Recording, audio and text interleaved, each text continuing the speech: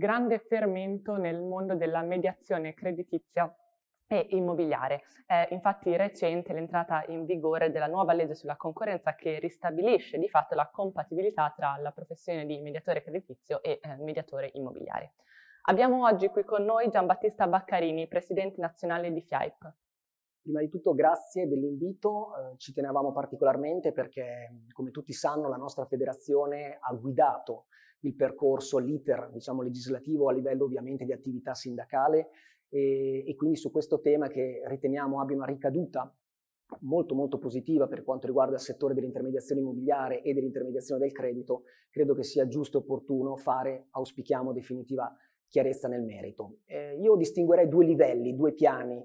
Eh, da una parte c'è la normativa, c'è la legge sulla quale entreremo mh, mm, più tardi nel merito, e dall'altra c'è la visione, che credo che sia alla base poi eh, di quello che ha spinto la nostra associazione diciamo, a lavorare politicamente al fine di ottenere il recepimento della proposta emendativa. E la nostra visione è quella dell'agenzia immobiliare professionale multidisciplinare Figital. No all'agente immobiliare tutto fare, quindi noi non riteniamo che una stessa figura professionale possa esercitare due attività, possa esercitare eh, due profession- professionalità, esprimere due professionalità, anzi al contrario, proprio perché il nostro lavoro è sempre più complicato, è sempre più articolato, è pieno di oneri, adempimenti, burocrazie e necessita di una specificità che va salvaguardata, eh, riteniamo che però nello stesso tempo all'interno di uno stesso luogo che è appunto l'agenzia immobiliare si possa avere l'opportunità di erogare più servizi nel massimo rispetto delle competenze professionali verticali e, e questo farlo appunto però non eh, nel luogo definibile società multiservizi, ma appunto all'interno dell'agenzia immobiliare, perché come spesso eh, mi piace sottolineare, la nostra federazione rappresenta le agenzie immobiliari, non rappresenta le società multiservizi. Questo tipo di società eh, è già esistente, già da anni, anzi grandi gruppi imprenditoriali hanno diversi rami d'azienda e già erogano più servizi eh, correlati a quello di intermediazione immobiliare, quindi hanno la rete di intermediazione del credito, hanno la rete di intermediazione assicurativa, di gestione di patrimonio immobiliare, di amministrazione condominiale, hanno già tante realtà ma fanno tutte capo a un unico diciamo padrone. Ecco, noi riteniamo che eh, proprio le piccole realtà che eh, sono quelle che noi rappresentiamo per la stragrande maggioranza, quindi quel 70-75% di agenzie immobiliari ditte individuali che hanno al massimo 2-3 tra collaboratori e dipendenti, possono avere questa opportunità all'interno dello stesso luogo, quando il cliente entra in agenzia, possono usufruire non solo del servizio prioritario di intermediazione immobiliare, ma poi chi eh, compra una casa, solitamente 8 persone su 10 devono fare un mutuo, quindi avere l'opportunità all'interno dello stesso luogo di avere una figura professionale che eh, nel rispetto dei requisiti di legge e dei percorsi normativi possa erogare anche il servizio di consulenza e intermediazione del credito, ovviamente ripeto eh, nel massimo rispetto di ciò che la legge stabilisce. Poi chi eh, compra la casa e fa un mutuo poi dovrà fare un'assicurazione sulla casa e, o un'assicurazione sul mutuo e quindi avere all'interno della struttura un'altra figura professionale che possa eh, erogare il servizio di brokeraggio assicurativo, quindi di intermediazione assicurativa. Parliamo sempre di intermediazione, di mediazione, quindi di figure terze, ovvero che non vendono diciamo, prodotti di proprietà, quindi eh, in questo caso l'agente immobiliare sappiamo non vende le case di sua proprietà, ma quelle appunto dei cittadini, così come eh, l'intermediario del credito vende diciamo, i prodotti eh, non di una banca, ma di tutte quelle eh, banche che fanno accordi ovviamente con la società di riferimento per la quale il collaboratore eh, opera e lavora, così come nell'ambito assicurativo di brokeraggio eh, c'è l'opportunità di offrire la migliore assicurazione. Così come potrà usufruire anche del servizio, per esempio, attraverso, attraverso un'altra professionalità di gestione di patrimonio, di patrimonio immobiliare, cioè uno compra per investimento, vuole affittare l'immobile per periodi brevi o per periodi anche lunghi, ha necessità che all'interno della struttura agenziale dell'agenzia gli venga offerto il servizio appunto di gestione, quindi se c'è la necessità che l'inquilino eh, abbia un problema con, la, con, un elettrodomestico, piuttosto che la necessità di un intervento di un artigiano, piuttosto che a fine locazione di risanare eh, diciamo, il bagno piuttosto che una stanza dell'appartamento. Ecco, un servizio di gestione che possa essere erogato all'interno dell'agenzia però ovviamente tramite una professionalità specifica e eh, nel rispetto, come dicevo, dei requisiti che la legge impone. Così come il servizio di amministrazione condominiale per quanto ci riguarda. Il cliente che entra in agenzia ci dà da vendere una palazzina da 7-8 appartamenti eh, che ha magari ristrutturato, quindi parliamo di un imprenditore, e poi ci chiede se eh, possiamo erogare anche il servizio di amministrazione condominiale una volta che la palazzina è ristrutturata e venduta in tutte le sue unità abitative. Se potessimo all'interno della, della stessa struttura, della stessa agenzia, avere una professionalità distinta che eh, possa erogare questo tipo di servizio, secondo noi daremmo un servizio più ampio a 360 gradi, ripeto, all'interno di uno stesso luogo e da qui la necessità di una compatibilità tra la nostra attività e quella di, ehm, di, di questi servizi di cui ho appena accennato, ecco, riteniamo che questo possa essere eh, un servizio nell'interesse eh, del mercato, ma soprattutto nell'interesse eh, della comunità, della collettività, dei consumatori e poi ovviamente ha una ricaduta positiva sulla centralità dell'agenzia immobiliare multidisciplinare nell'ambito della filiera immobiliare. Ci teniamo nello stesso tempo a sottolineare anche ehm, che per noi la professionalità dell'agente immobiliare è centrale e su questo eh, credo che ci sia trasversalmente riconosciuto l'attività che abbiamo messo in atto come federazione già cinque anni fa che abbiamo voluto dare un senso compiuto e concreto a quella P di professionale che chiude tra l'altro il nostro acronimo di FIAIP attraverso la ideazione e la realizzazione di un modello professionale di lavoro. Noi sappiamo che la legge ci dice come diventare un agente immobiliare, ma non ci dice come svolgere l'attività di agente immobiliare. Quindi abbiamo voluto eh, creare appunto, eh, noi diciamo abbiamo avuto l'onore ma anche l'onere di definire un modello di lavoro che sostanzialmente si concretizza nell'immettere sul mercato immobili preventivamente verificati, controllati a livello documentale, anche e soprattutto attraverso professionisti convenzionati come i tecnici, quindi dal punto di vista condominiale, edilizio urbanistico, catastale, di provenienza, che non ci siano pesi, gravami, ipoteche, privilegi, atti d'obbligo, patti speciali, impiantistico, cioè un controllo, una due diligence molto articolata prima di immettere l'immobile sul mercato e tenendone conto nella più corretta valutazione di mercato dell'immobile, quindi in sede di valutazione, a questo punto l'immobile può essere immesso sul mercato e non avrà problematiche sia per l'acquirente non ce ne saranno, sia per il venditore e ci sarà una ricaduta positiva sulla nomea e sull'immagine dell'agente immobiliare professionale. Su questo abbiamo con l'ente nazionale normazione eh, fatto un percorso e questo modello di lavoro, questa procedura operativa professionale è divenuta una prassi di riferimento a maggio del 2018 e ora sono in corso i lavori per la trasformazione in norma uni. La trasformazione in norma uni diventa un elemento molto importante perché quando e se il legislatore deciderà come noi agenti immobiliari dovremmo eh, lavorare, eh, partirà come base da ciò che troverà all'interno del serbatoio dell'UNI e troverà la norma UNI eh, definita appunto da noi agenti immobiliari e non da ehm, componenti diciamo della politica, da un legislatore che ovviamente non, non conosce le dinamiche eh, diciamo della nostra attività. Quindi è un processo molto importante, quindi la professionalità dell'agente immobiliare ma anche la multidisciplinarità diviene fondamentale non solo per restare sul mercato, ma per cercare di cavalcarlo e di, di venire sempre più al centro della filiera immobiliare e questa nostra visione della multidisciplinarità eh, legittimamente non viene vista allo stesso modo da altre realtà associative dello stesso comparto. In particolare l'associazione di categoria che eh, diciamo, contrasta fortemente eh, la legge, appunto, il, la legge concorrenza appena entrata in vigore, ha una visione differente, diciamo che eh, teme di più ciò che possono fare gli altri rispetto a quello che possiamo fare noi in più. E questo, ripeto, è una posizione più che legittima. Quello che invece eh, è eh, poco soggettivo, o meglio è oggettivo, è l'articolato della legge, quindi ciò che la normativa ha espresso e è, è stato espresso diciamo, nel merito ehm, delle diciamo così, novità che eh, partono da una procedura di infrazione europea eh, del 2018, la procedura 2175, oramai nota per gli addetti ai lavori. Questa procedura sostanzialmente cosa prevedeva? Prevedeva, o meglio sollecitava il nostro paese, il nostro Stato, minacciandolo appunto di sanzioni contro il nostro paese di ehm, allentare il nostro regime delle incompatibilità, quello ovviamente riferito alla legge 3989, cioè alla nostra categoria di agenti immobiliari, perché riteneva questo regime di incompatibilità eccessivamente rigido, eccessivamente stringente, che impediva, secondo la Commissione europea, lo sviluppo di modelli commerciali innovativi e flessibili a tutela e a salvaguardia delle moderne esigenze dei cittadini. Quindi l'Europa era ed è orientata non tanto a offrire delle opportunità in più alle nostre agenzie immobiliari, ma a salvaguardare l'interesse del consumatore, del cittadino, che appunto voleva e vuole quando entra in agenzia che eh, nell'agenzia immobiliare possa trova, tro, trovare ulteriori servizi oltre a quello puro di intermediazione immobiliare. Ovviamente servizi correlati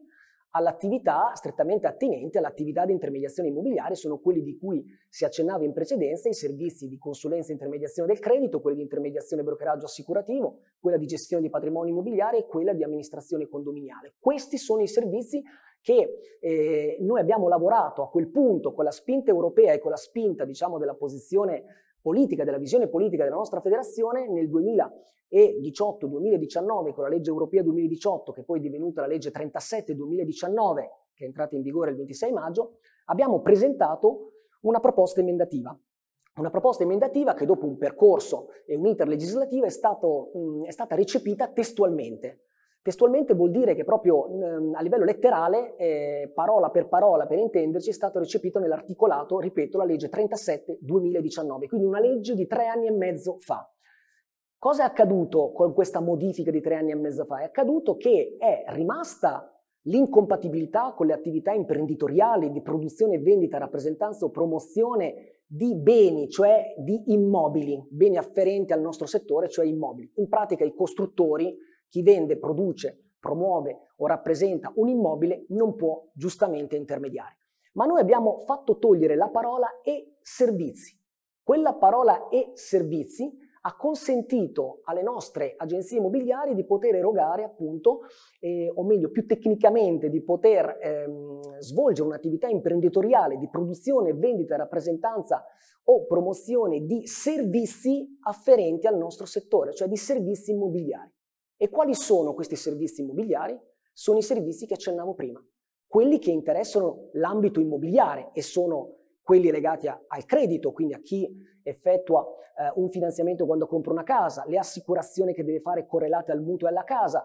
l'ambito di amministrazione condominiale e di gestione di patrimoni immobiliari. Questi sono i servizi che sono stati aperti, ma voglio sottolineare in particolare il servizio di mediazione creditizia che quindi tre anni e mezzo fa è stato reso compatibile. In quella legge abbiamo anche ottenuto l'introduzione dell'incompatibilità con i dipendenti bancari, finanziari e assicurativi, ma soprattutto i dipendenti bancari. Voi sapete che purtroppo le banche possono eh, come alcune hanno eh, creato agenzie immobiliari, possono essere proprietarie di agenzie immobiliari, ma con questa legge i loro dipendenti, giustamente perché vendono il prodotto di quella banca, non possono e non devono normativamente poter fare il nostro lavoro, perché perderebbero quella caratteristica peculiare che è la terzietà. Ma tornando sul tema della, della mediazione del credito, questa legge, quindi tre anni e mezzo fa, si apre alla mediazione del credito e successivamente a questa legge tutta la consulta dell'intermediazione nazionale, ehm, dell'intermediazione immobiliare nazionale, quindi anche le altre realtà associative importanti, hanno applaudito a questa legge. E abbiamo fatto un comunicato congiunto ehm, il 17 aprile, quindi un mese prima circa dell'entrata in vigore della legge, e addirittura il mese prima ancora, cioè il 12 marzo del 2019, eh, l'associazione di categoria che oggi contesta fortemente eh, la legge appunto che ha ripristinato la compatibilità tra la nostra attività e quella di mediazione del credito, addirittura aveva eh, prodotto un comunicato stampa nel quale eh, diceva che eh, l'emendamento era il suo, era esattamente uguale, conforme al testo presentato da questa associazione di categoria, che ricordo e risottolinea aveva aperto, aperto alla compatibilità quindi tra l'attività di mediazione immobiliare e l'attività di mediazione del credito, cioè esattamente l'opposto di quello che oggi invece contesta essere una cosa molto grave e dannosa per la nostra attività. Poi cosa, cosa accade? Succede che un anno e mezzo dopo, ovvero il 16 novembre del 2020, facciamo una riunione di consulta all'interno della quale la stessa associazione di categoria che ad oggi appunto eh, fortemente eh, contrasta questa compatibilità, eh, manifestamente e verbalizzato all'interno eh, appunto del verbale della riunione di consulta, ehm, prevede e dichiara, diciamo per merito ovviamente della presidenza nazionale, dichiara che essendo che questa associazione al suo interno rappresenta 17 società di mediazione del credito, eh, la cosiddetta consulta del credito, e, questa consulta del credito, cioè le 17 società di mediazione del credito rappresentate da questa associazione, dichiarano di essere fortemente contrarie alla compatibilità tra l'attività di mediazione immobiliare e l'attività di mediazione del credito. E quindi la linea di questa federazione diventa quella di contrastare questa compatibilità e quindi comincia ad operare politicamente, a lavorare politicamente e devo dire in maniera efficace riesce a ottenere la modifica mh, della legge, quindi mh, della 3989, eh, e questa modifica entra in vigore circa dieci mesi fa, il primo febbraio di quest'anno, con la legge 238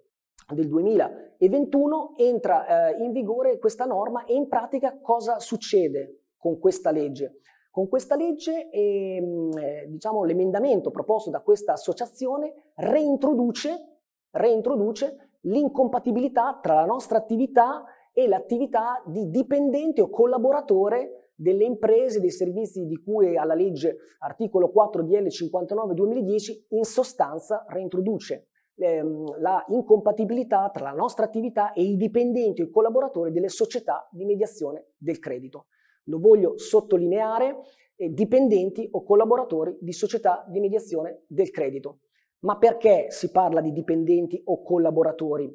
ma soprattutto dei collaboratori? Perché nel frattempo, nel 2010, con la, legge 141-2010,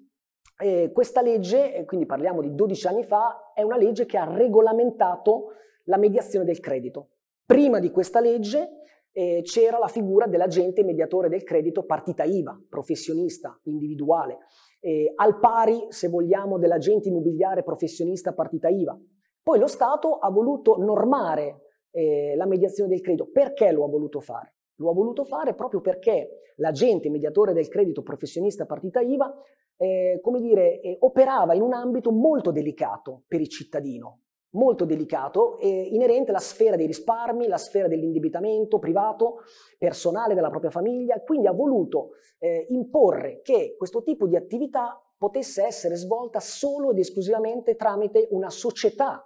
di capitali, con un versamento di capitale sociale, ovviamente con dei minimi requisiti di legge, e, e che facesse, perché la società? Perché la società doveva fungere da garante, da filtro, diciamo, di, eh, chiamiamolo filtro di qualità, di vigilanza, affinché i collaboratori delle società, di queste società, potessero eh, svolgere la propria attività nel massimo della linearità e della trasparenza, proprio per la delicatezza dei servizi che andavano ad erogare. Quindi sparisce la figura, parliamo di 12 anni fa, legge 141-2010, sparisce la figura dell'agente mediatore del credito eh, al pari dell'agente immobiliare, diciamo partita IVA, ma diventa collaboratore della società di mediazione del credito. Quindi il professionista, il consulente del credito diventa il collaboratore. E quindi è chiaro che quest'altra associazione,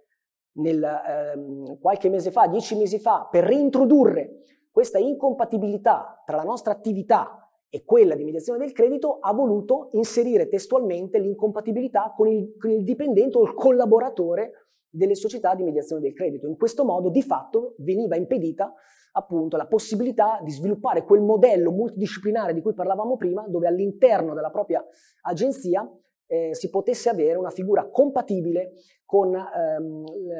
il collaboratore che potesse erogare appunto il servizio in ambito creditizio. Ma il, eh, diciamo così, tecnic- tecnicamente, o perlomeno mi viene da definirlo, la gravità di questo articolato della legge 238-2021 voluta da questa altra associazione di categoria sta nel fatto che il legislatore, per bilanciare l'introduzione di un'ulteriore incompatibilità, quella appunto con la mediazione del credito, ha aperto, ha aperto, lo voglio sottolineare, a tutti i dipendenti privati ovviamente eccetto i dipendenti dei costruttori, i dipendenti bancari, finanziari e assicurativi, ma per il resto tutti i dipendenti, ovviamente nel rispetto dei requisiti normativi di legge, possono svolgere la nostra attività. A proposito di svilimento, di sminuire, eh, ecco, mh, in particolare vorrei sottolineare che grazie, tra virgolette, ironicamente, a questa legge voluta da quest'altra associazione, i dipendenti dei professionisti immobiliari, mi riferisco ai dipendenti dei notai, dei geometri, degli architetti, degli ingegneri,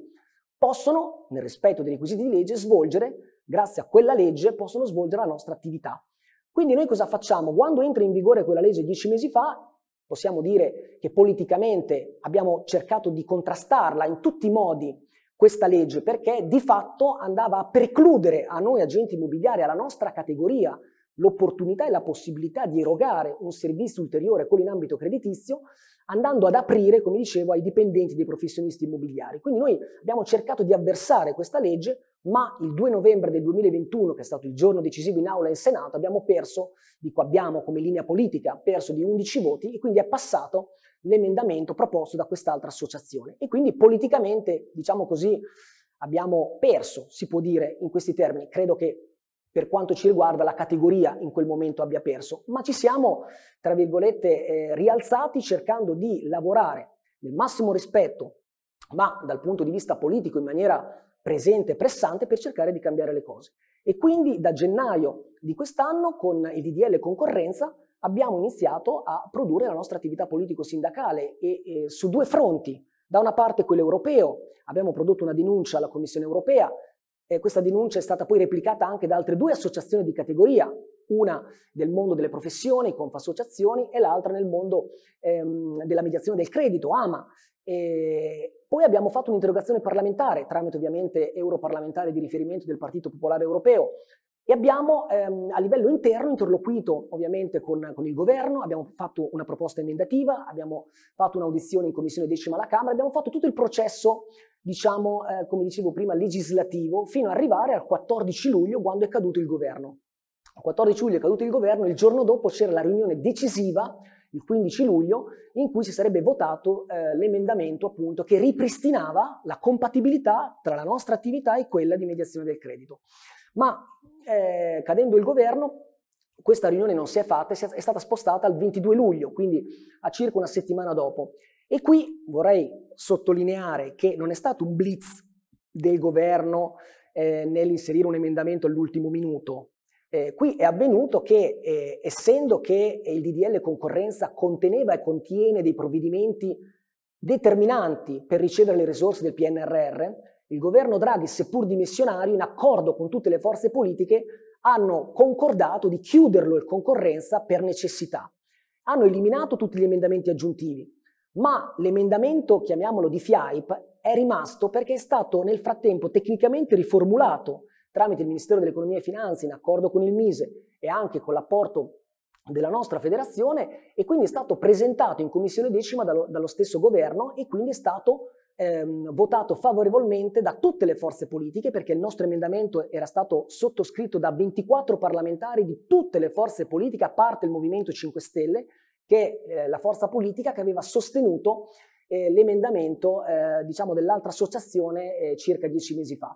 Quindi questo è l'iter con cui è avvenuto, dopodiché c'è stata l'aula um, alla Camera, al Senato, insomma, e, e, la pubblicazione in Gazzetta e il 27 agosto è entrato in vigore il nostro articolato. Quindi eh, voglio anche sottolineare che nel periodo, diciamo, cruciale della commissione decima in cui si è deciso l'approvazione dell'emendamento c'è stata giustamente l'attività politica di contrasto dell'altra associazione di categoria, che non è stata, diciamo, efficace, ma come la nostra non era stata efficace qualche mese prima. È questione, diciamo così, eh, di, di, di, lavoro e di attività politico-sindacale che sta nelle sue dinamiche, diciamo, eh, generali e normali. Eh, quello che eh, credo sia decisivo e importante per tutta la categoria, sia il mondo dell'intermediazione del credito che del mondo dell'intermediazione immobiliare, che l'articolato, visto che si è discusso dell'articolato, prevede i due commi. Nel primo comma c'è proprio il ripristino della compatibilità, perché vi ricordo tre anni e mezzo fa avevamo ottenuto questa compatibilità. Quindi il ripristino, ecco perché parliamo di ripristino, di compatibilità tra la nostra attività, quella di agente immobiliare, e l'attività di, eh, del dipendente o collaboratore delle società di mediazione del credito, perché come marcavo prima,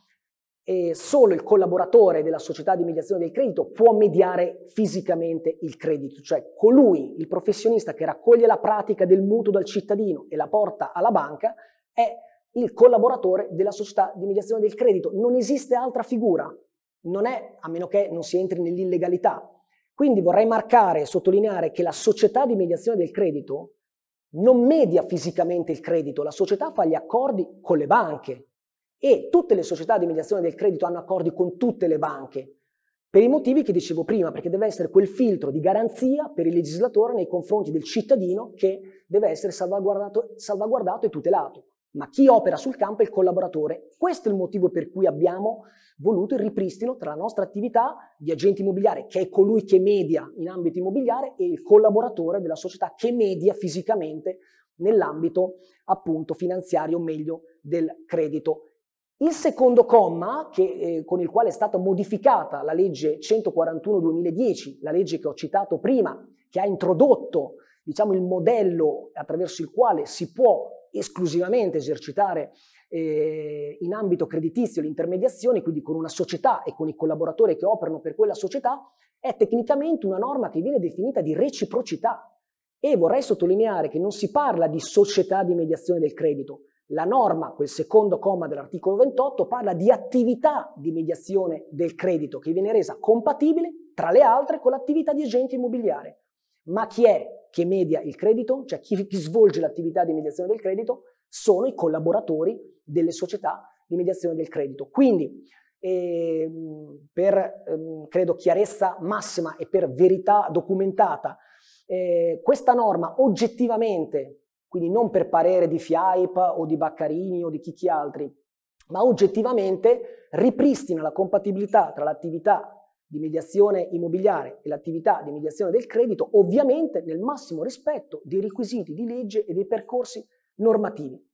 Oggettivamente non vengono favoriti grandi gruppi imprenditoriali o le grandi società o si, si sia creato un conflitto di interesse che vada a ledere un principio comunitario, perché credo tutti noi non possiamo non riconoscere che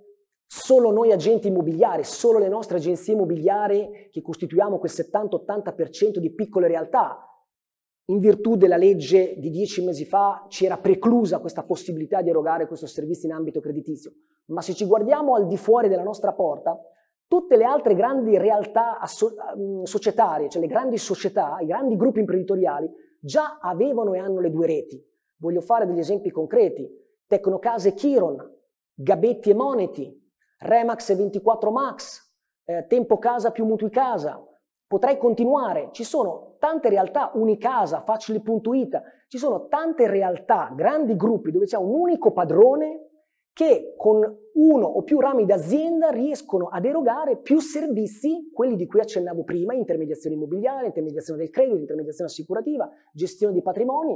Loro lo potevano e lo possono fare già da anni. Gli unici che non potevamo farlo eravamo noi piccole realtà imprenditoriali, piccole realtà professionali, gli agenti immobiliari. E questa legge ripristina giustizia da questo punto di vista perché, perché consente alle nostre realtà, per chi lo vorrà, quindi non è un'imposizione, per chi lo desidererà e riterrà un'opportunità, questa apertura potrà all'interno della propria realtà instaurare quel modello di agenzia professionale immobiliare multidisciplinare dove al centro ci siamo noi e e nello stesso tempo poter erogare con pro- professionalità specifiche. Ecco perché noi parliamo di rafforzamento della sinergia collaborativa tra gli agenti immobiliari e i collaboratori del credito, perché non riteniamo che sia possibile che l'agente immobiliare possa fare entrambi i lavori, così come il collaboratore del credito possa fare entrambi i lavori. Quindi non si può e non si deve, a nostro parere, parlare di svilimento. L'articolato è molto chiaro da questo punto di vista. Ci tengo anche a sottolineare, visto che si è ehm, parlato no, di, di, di, dire, di, una modalità poco lineare ehm, in relazione a, all'azione della nostra federazione, parlo che abbia lavorato per appunto sminuire una categoria, noi abbiamo fatto esattamente l'opposto. Cerchiamo con tutte le nostre forze, con tutti i nostri limiti, con tutte le nostre energie, rappresentando le agenzie immobiliari, di offrire delle opportunità in più alle nostre realtà per essere sempre più eh, percepiti come utili dalla collettività, dalla comunità. E questo secondo noi eh, ne è una prova tangibile, ne è una prova concreta come ci piace operare. Il nostro modo di fare sindacato è e vuole rimanere assolutamente in questa direzione, non ci piace eh, avere modalità aggressive, offensive, parlare di ignoranza, incompetenza, eh, di, di malafede, non ci appartiene come sindacato, ci piace attenerci al merito e il fatto che la proposta emendativa della nostra federazione sia stata vagliata in tutti i suoi dettagli eh, e nel merito, eh, analizzata nel dettaglio da parte di eh, uffici legislativi di tutte le forze politiche, a parte il Movimento 5 Stelle, ripeto, e da parte degli uffici legislativi del MEF e del MISE, ci dice come non tanto e non solo la nostra federazione abbia messo all'attenzione una proposta condivisa e condivisibile, ma come nel merito sia stata considerata nell'interesse generale del, del mercato a favore dell'economia nazionale, nell'interesse quindi dei mondi dell'intermediazione del credito immobiliare e soprattutto nell'interesse della collettività. Vediamo ora quali possono essere le opportunità e le prospettive future eh, per gli operatori.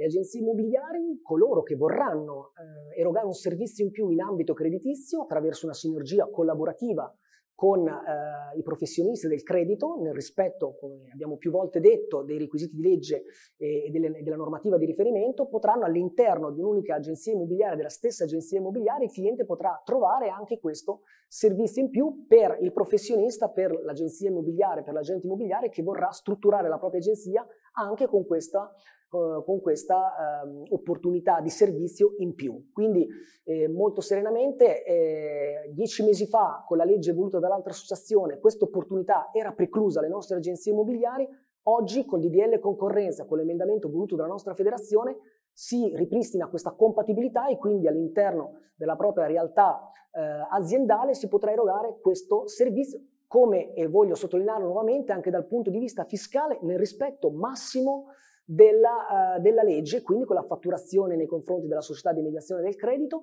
che fatturerà direttamente al cliente, mh, mm, quello che la legge prevede, nessuno dice altro o più o meno di diverso. Oggettivamente però il cliente troverà in uno stesso luogo più servizi senza spingere invece, tra virgolette, spingere o dover allontanare il cliente al di fuori della propria agenzia quando ricerca un servizio ulteriore e diciamo ehm, portare il cliente al di fuori della nostra agenzia si traduce spesso e volentieri purtroppo che va in un altro luogo e poi spesso non torna più per comprare o vendere l'immobile perché ha comprato o venduto l'immobile in un altro, in un altro luogo. Quindi noi invece vogliamo che stia all'interno della nostra realtà agenziale e sia soddisfatto e contento di trovare appunto tutte le risposte che cerca in ambito ovviamente relativo all'operazione immobiliare. Nei mesi scorsi la Commissione europea ha chiuso la procedura di infrazione. Eh, dottor Baccarini, ce ne parli? Come dicevamo in precedenza, la procedura di infrazione europea ehm, è partita circa quattro anni fa a seguito di raccomandazioni del 2017 che eh, diciamo, spingevano il nostro Paese ad allentare il regime delle incompatibilità. E nel 2019 è avvenuto un allentamento di queste incompatibilità, eh, poi però eh, dieci mesi fa è avvenuta un'ulteriore invece introduzione di un'ulteriore incompatibilità, però come dicevamo prima in quella legge voluta da, da quest'altra associazione di categoria, poi il legislatore per bilanciare quest'ulteriore incompatibilità ha aperto ai dipendenti, quindi a tutti i dipendenti privati, quindi lì si può leggere un'ulteriore apertura purtroppo non positiva per la nostra categoria. Poi con il DDL concorrenza, quindi con la legge 118-2022, invece si è ottenuto di nuovo un'apertura, come abbiamo visto, in ambito appunto di compatibilità con la mediazione del credito. E a seguito di questa apertura, il 29 settembre di quest'anno, quindi parliamo di poche settimane fa, eh, il Dipartimento delle Politiche Europee, eh, quindi del governo, quindi sotto la Presidenza del Consiglio dei Ministri, eh, come fonte diciamo primaria ufficiale, eh, comunica che la Commissione Europea ha deciso l'archiviazione di cinque procedure di infrazione, tra cui la 2175 del 2018, cioè la nostra, tra virgolette, procedura di infrazione che riguardava non solo la categoria del, de, degli agenti immobiliari, ma anche altre qualifiche professionali. Questa fonte eh, ovviamente è una fonte eh, governativa, ma anche eh, ovviamente confermata, anzi diciamo la partenza è proprio della, della, stessa Commissione europea che nell'andare a ricercare proprio la stessa procedura 2175 del 2018 è eh, plasticamente evidente che eh, il 29 settembre è stata decisa, ecco vorrei sottolineare che è stata decisa il 29 settembre, non è stata comunicata al nostro paese la decisione di chiudere il 29 settembre, è stata proprio decisa dalla Commissione europea il 29 settembre la chiusura della procedura di infrazione proprio eh, diciamo a seguito, 33 giorni dopo eh, l'entrata in vigore del DDL concorrenza che ha aperto la compatibilità appunto con la mediazione del credito. Eh, l'associazione che contrasta fortemente eh, questa, questa, norma ha, ha, postato recentemente invece una, uno scambio di posta eh, diciamo con un funzionario del, um, europeo che invece parla di un'altra data del 20 giugno, ma ehm, come dire, credo interpretando diciamo, il documento che non dice in maniera palese, chiara eh, e plastica diciamo, che la decisione è avvenuta quel giorno, ma eh, che ci siano elementi rilevanti in quel periodo relativamente alla normativa di riferimento, ma ricordiamo che la normativa di riferimento, che è quella 238-2021 di cui eh, fu recepito l'emendamento di quest'altra associazione, come abbiamo detto purtroppo aveva aperto ai dipendenti privati, quindi credo che probabilmente questa è un'interpretazione diciamo normativa della nostra federazione che il fatto che sia stata in qualche modo in quel periodo valutata come un elemento di apertura e quindi di allentamento delle incompatibilità, purtroppo, dico purtroppo, credo l'elemento che abbiano valutato non sia stata l'introduzione ovviamente di un'incompatibilità, ma l'allargamento, l'allentamento e quindi la compatibilità con i dipendenti privati. Poi, come si diceva, decisivo è stata evidentemente l'ulteriore apertura voluta dalla nostra federazione della, um, in relazione alla compatibilità con la mediazione del credito. Il 29 settembre è avvenuta una decisione che credo faccia piacere, comunque debba far piacere all'intera categoria, ma soprattutto all'intero sistema paese, perché significa evitare sanzioni per il nostro sistema economico nazionale.